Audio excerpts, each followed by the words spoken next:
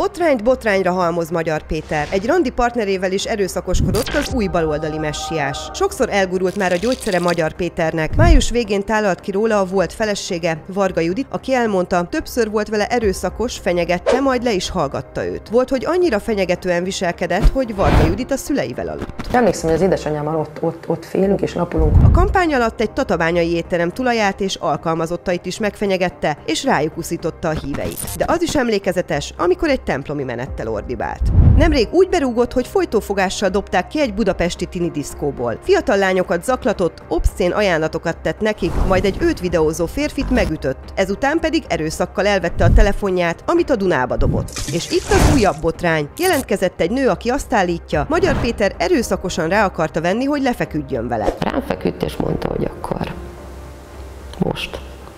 Pedig mondtam, hogy nem szeretném. Le kellett lögdösni magamról, mint egy szexuális ragadozó úgy kezd el viselkedni. Szerinted ezek után van még bármi keresni valója Magyar Péternek a közéletben? Írd meg kommentben!